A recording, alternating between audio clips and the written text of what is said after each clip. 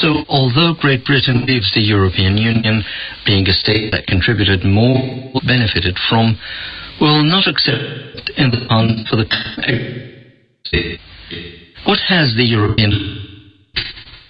It has proposed funds for the common agriculture policy and a total reduction of the funds for the European Agriculture Fund.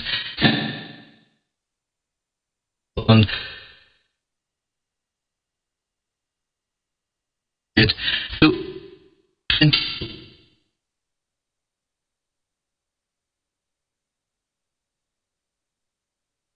listening to Romania and European Union.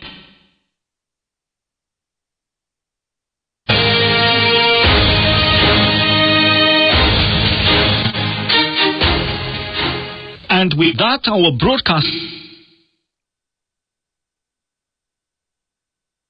come to an end. At 12 and 15460 kilohertz, as well as on the internet at www.rri.ro, channel 1. Listeners in hours 790 kilohertz azimuth 1 DRM system and on 15400 kilohertz in the analog system. Listeners in the Pacific area are invited to tune in again tomorrow at 6.30 hours. 80 kilohertz.